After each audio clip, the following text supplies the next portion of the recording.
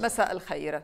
على مقياس مصلحة الأرصاد الجوية بيضت هبة بثلوجها المشهد اللبناني وراكمت سيطرتها على يوميات مثقلة بسواد توفير الدفء في ظل ارتفاع أسعار المحروقات وانقطاع التيار الكهربائي ومصاعب شائكة تعيق التزود بالمواد الحيوية. العاصفة هبة ستبلغ ذروتها في اليومين المقبلين وهي حلت خلال الليل ضيفا ثقيلا بسرعة رياحها في مختلف المناطق لتتحول إلى أمطار غزيرة وتساقط ثلوج غطت القمم والجبال وصولا إلى المناطق الساحلية.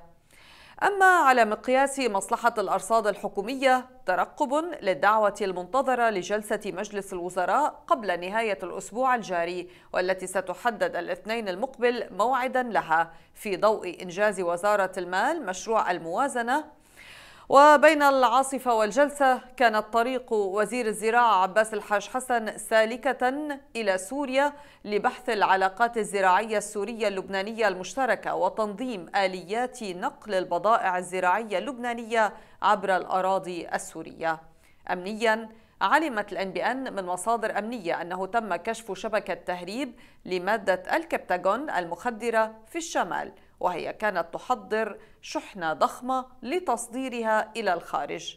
أما قضائيا فتتجه الأنظار إلى المؤتمر الصحفي الذي تعقده اللجنة التأسيسية لأهالي شهداء وجرحى ومتضرري انفجار مرفأ بيروت غدا والذي سيتم خلاله كشف بعض المستور في هذا الملف لأول مرة عبر وسائل الإعلام والرد على التجاوزات الأخيرة بحق أولياء الدم.